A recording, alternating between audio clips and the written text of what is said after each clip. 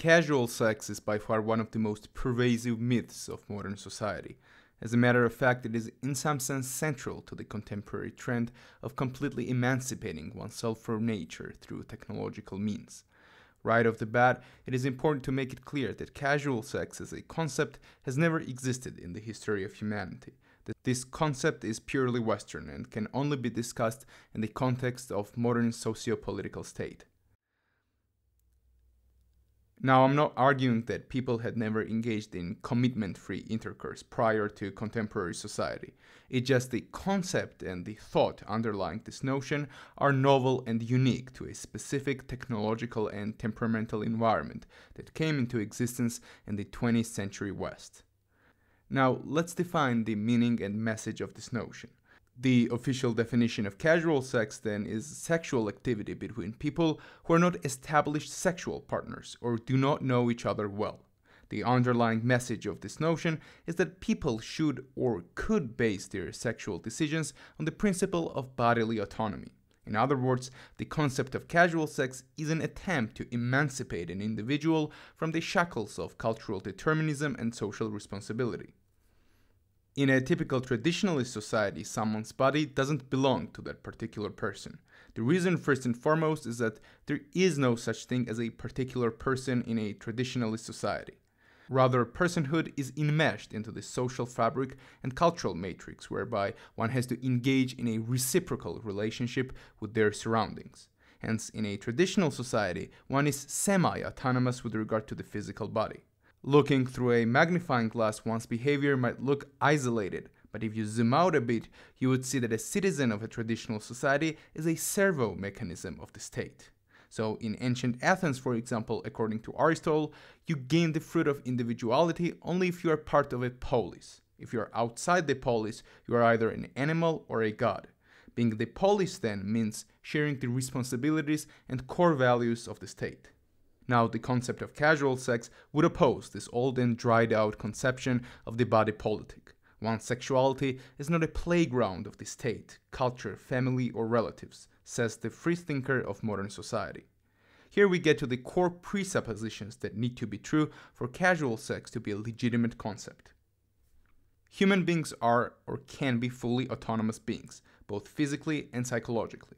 Hence, they are fully able to divorce sexuality from the sphere of emotionality and mental health. One's decision making about personal sexuality is safe enough to do away with cultural traditions and customs. Sexual intercourse is not that big of a deal, as evidently it can be casual if one desires it to be. This negates the notion that humans are evolutionary wired to act in a certain way. There are no inherent differences between men and women. Therefore, they're both equally able to engage in casual sex. Now, first, we need to consider that casual sex is in and of itself an oxymoron. Uh, the definition of the word casual sounds as follows relaxed or unconcerned. So, sex, apparently, which is a foundational act of reproduction, a foundational element of biological evolution, a critical part of cultural evolution, and part and parcel of human psychosocial formation and mental health, can simply be relaxed or unconcerned.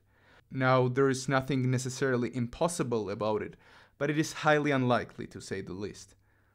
So, here are five major problems that I see in the concept of the casual sex. Sex can never be divorced from other human faculties, hence, in virtue of sexual activity overlapping with other vital spheres of existence, it can never be casual. Casual sex promotes the false illusion of being in charge of one's body, and having full autonomy over one's psyche and unconscious. Casual sex, in virtue of its being contrary to one's evolutionary predispositions, damages one's mental health. Casual sex contributed to social disorganization and the loss of unifying social fabric, without which there can never be such thing as culture or state. Society that accepts casual sex as a norm will inevitably create an environment that will or does already benefit people with antisocial personalities. Let's begin with the first one. Right from the outset, the very idea that sex can be completely isolated from other human activities and vital spheres of being demonstrates the mass prosopagnosia that I discussed in another video. You see, human life is not segmented into isolated chunks of behavioral modalities that can be accessed like different shelves of a wardrobe. Rather, sexuality is interlinked with mental health, emotional attachment, love, self assessment, the ability to sustain long term relationships, cognitive abilities, and surely with physical health. The idea that one can be sure and calm that a casual one nighter can never affect one's overall being is a symptom of psychological fragmentation. One is unable to see him or herself as one whole human being with core guiding principles that will influence every aspect of his behavior. In other words, modern people have lost the sense of identity principle. They do not live in the modality of being, but have entered into a pure becoming. This perpetuates an illusion that one can engage in an act that will be abstracted or cut out from the contextual web of one's being. I'm going to have a one nighter, and that act of casual sex will have no long lasting impact on my life, as I'm free to think that it won't affect me. This brings me to the second problem. The idea that one's unconscious or psyche is so accessible and malleable is preposterous the whole idea of psychoanalysis, which is, after all, a foundational principle of psychology, is that you are not a master of your psyche. The very existence of a psychologist as a profession presupposes that your psyche is not fully accessible to you. You can use your body the same way you can use your computer, but you don't actually know what is going on behind the scenes. The false notion of casual sex that causes the bloating of confidence in one's sexual decision making places a Sisyphus stone on people's shoulders. All of a sudden, one decides that culturally devised schemas that organize one's life into a meaningful storyline are obsolete. Now I will be the storyteller and the storymaker of my life, says the modern army of Sartre's illegitimate children, or bastards if you will. Well, no, you won't. Maybe you could give it another thought before adopting such an arrogant position what are the chances that you are going to come up with a better sexual lifestyle, which is, by the way, everything but a style, as it has no structure, than the way it was pursued in most successful cultures that have ever existed? Maybe there is more to the values of sexual abstinence than just the pure bigotry of religious extremists. Somehow we came to believe that sexual life, unlike food, technology, education, jobs, and other everyday activities, can be something that is completely and utterly self governed. I mean, ideally, if you structure what you eat, how you exercise, how you conduct yourself in public, how you do your job at the workplace, and so on and so forth, why on earth would you think that sex is somehow exempt from rules and standards? The third point was about mental health. Studies show that females are especially susceptible to mental health injuries when engaging in casual sex, which in and of itself shows that it is more than casual the use of antidepressants is correlated with the advent of the sexual revolution. The thing about it is that reward or short term pleasure trumps contentment, and that's why one needs antidepressants. Dopamine is what gives you pleasure, and serotonin is what gives you contentment. People who base their life on hedonism can never be content, as dopamine production runs contrary to serotonin and constant chase of stimulation echoes my previous point about how pure becoming and flux have substituted being and self identity. Unfortunately, you can't have both. You are either constantly chasing pleasure, and hence you are constantly unhappy, or you are mentally stable and content and give away short term bursts of physical pleasure. The fact that females are more susceptible to mental health issues when it comes to casual sex is expected. How on earth would a female sustain continual engagement in casual sex in a world where contraception never existed? Why is it so unimaginable that one's evolutionary stable strategy of reproductive behavior is ingrained in the central nervous system? After all, 80% of genes are expressed in the nervous system. Further, studies show that when people have more than two sexual partners, their chances of building a monogamous family significantly decreases, which proves the point that sex can never be divorced from other spheres of being. And the fact that this leads to the deconstruction of family structures brings me to the fourth problem. The notion of casual sex disregards the principle of the social fabric. And what's most fascinating about it is that most proponents of casual sex are people who call themselves leftists. Now, the reason why this is so stupid and ironic is that the whole point of leftism and leftist social analysis is that, unlike neoliberal or liberal theories, it conceives society as a matrix rather than as an organization of atomized individuals. the neoliberal capitalist conception of society is that there is no such thing as a society, but only individuals. This is backed by Hobbes' understanding of society, which is expressed in the illustration of Leviathan, where instead of relations, we see a collection of individual heads. On the other hand, leftist social theories tend to conceive society as a superorganism that cannot be reduced to its individual parts, which explains why sociology is a relatively leftist dominated discipline. The wall is more than just a collection of bricks, as it has properties that are lacking in a single brick. The key to creating a wall or any complex structure lies in the unique relationships between its individual components, rather than in a mere assembly of their numerical quantities. If you just throw bricks in one place, you won't get any type of structure, as the latter presupposes uniform and fixed patterns of interrelations. And this then brings me to my point. What kind of society as a superorganism will come out from bricks that do not stand in fixed positions with each other, but are rather free to move the way they want? Which house do you prefer? The one where each part of the house is free to form any rhizomatic connections, or the one that is organized like a tree and has fixed relations? Hence, the society where sexual relations has no structure is not a society anymore. The same way a wall where bricks are not organized in a specific fashion is not a wall anymore, but rather a pile of disconnected bricks that looks like a midden heap. Again, any counter argument to this point, backed up by examples of societies that didn't practice standard monogamy, would miss the point. The problem with the modern notion of free sex is not necessarily the absence of monogamy or Puritan Christian ethics, but rather the absence of structure as such. After all, Plato, who is not your average liberal hippie, advocated the communal sharing of wives in his ideal society. However, in that case, it served a greater goal of creating a strictly regulated society whose overall structure and purpose was everything but a sexually liberated paradise. And lastly, the notion of casual sex serves as a gateway to psychopathic social tendencies. The idea that you can engage in a tactile relationship with someone for quite some time without forming any emotional attachment is scary, to say the least. It's like I'm having sex with your carcass, not with you. It just so happened that you are just wearing that body that I happen to like at that moment. Modern society treats the human body as an inanimate object that one wears, carries, flexes, or advertises. I mean, the whole notion of the body belonging to someone presupposes the scary distinction of personhood and physicality.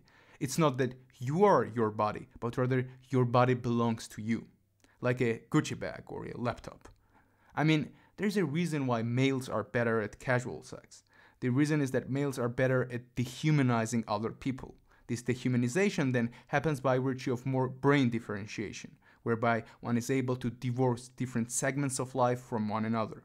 Males have more front to back brain activity, whereas females have more integrated hemispheres and hence more lateral connections between hemispheres.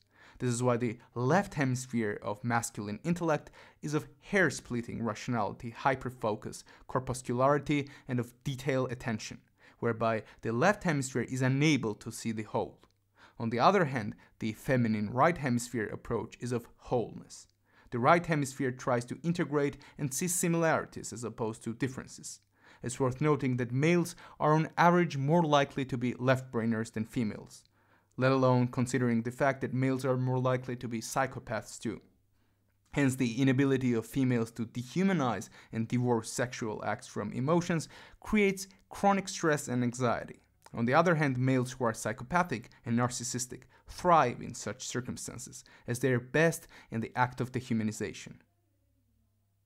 Hence, masculinized feminists who are committed to the goal of proving males that they can also be psychopathic are ultimately benefiting those narcissistic males who are going to exploit gullible females. The very gullible females who were conditioned to think that they have the same power of divorcing sexuality from emotions. The controversy surrounding the outgrowth of this society and his lover boy method has sparked some revival of psychology in leftist communities, Turns out, after all, that females are not benefiting from the culture of sexual wildness. Actually, this parallels communism and Soviet Union. There's a notion in the Marxist community that one of the reasons why the Soviet Union ushered into genocidal totalitarianism is because the power was shifted from Leninist and Trotskyist lines of socialism to Stalinism. The argument goes that if a normal person like Trotsky had the power instead of the bloodthirsty Stalin, Soviet Union wouldn't have been such a failure. The problem with this perspective parallels the pathology of the culture of casual sex the world and environment that Orthodox communism sets forth, irrespective of its primary motivations, will inevitably benefit people like Stalin, which will turn the society into a totalitarian state. There is a reason why it didn't work in South America or in Mao China. The initial programming of a society doesn't tell you how it is going to end up in the future. The reason is that there are lots of variables that one doesn't see in the beginning. This brings us to the inherent disjunction of intellectual projectivity and what type of results your notions might bring about that you initially couldn't have accounted for. Now it's just a matter of time before egalitarian, communitarian supporters of free sex start to challenge and criticize sexual freedom, as the algorithm of casual sex will ultimately benefit psychopathic, harem possessing, barbarian, narcissistic, quote unquote alpha males who are probably not what supporters of free sex imagined in the first place. So, all in all, the notion of casual sex is in essence self referential. Casual sex as a signifier doesn't point to anything real that actually takes place in the physical realm. Contrary to widely held opinion, casual sex doesn't represent something bodily, instinctive, or organic. As a matter of fact, However counterintuitive it might sound, casual sex is one of those most abstract and hyper rational concepts of modern society. Casual sex is a perfect triangle or a rectangle that you would never encounter in a curvilinear, non mathematical observable world. The fact that one has sex and then decides to call it casual doesn't make it casual, the same way calling a dog's tail a leg won't make it five legged. Generally, if I ever engage in something casual, I'm not writing articles or books about it, trying to defend and justify my actions. You can argue that casual sex isn't immoral, or it is not in fact unhealthy, but saying that it is casual means that you either never had it or you are completely desensitized to it thanks to pornography and hookup culture. Calling an inability to structure your sexual life free sex or casual sex reminds me of Nietzsche's Pale Criminal from Thus Spoke Zarathustra. Nietzsche conceives a criminal who has committed a murder and then stole something so that he could somehow explain his behavior. This poor fellow believed he had murdered for the sake of robbing, but in this particular case, it was an afterthought by which he tried to justify the murder in the eyes of his poor reason. He must have a purpose, but as a matter of fact, he didn't have any purpose except the act of murder. Nietzsche is concerned here with the difference between the conscious intention and the subconscious and substantive motive. A pale criminal is someone who is not able to fully accept his deed, which is purely free of theoretical or moral context, and has to rationalize or conceptualize it retroactively. Hence, the pale criminal is a transitional entity from an idealistically loaded human of the metaphysical age and of an Ubermensch who is free from the notions of good and evil modern advocate of casual sex resembles the pale criminal, as actually such a person experiences an inner conflict and tension. On the one hand, he engages in social deviance, and on the other, he's still not able to do it without an afterthought and subsequent evangelism of other people. I have never met more evangelistic and apologetic people than those who defend the notion of free sex. Idealistically, such a person should be chill and relaxed, who won't even care about public perception. However, it turns out that casual sex brings forth not just an afterthought of Nietzsche's pale criminal, but whole mental gymnastics of rigorous logic and Aristotelian argumentation. Well, if you're already duped into thinking that you can have such a lifestyle without serious consequences, at least enjoy it without turning into a mouth foaming apologist. Okay, so guys, I have looked at your questions and I'll definitely answer them when I get comfortable with the camera. As always, I want to thank my Patreons for their support. If you want to support the channel, you can find the link to Patreon in the description. Thank you again and stay tuned.